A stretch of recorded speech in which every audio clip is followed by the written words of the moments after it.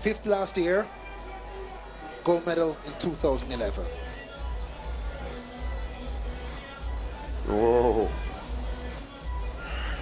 Uh, interesting. We looked at the official with the yellow flag. Uh, the rules are very interesting in the field events, in the high jump in particular, and the pole vault. It actually says he needs to begin or commence his attempt.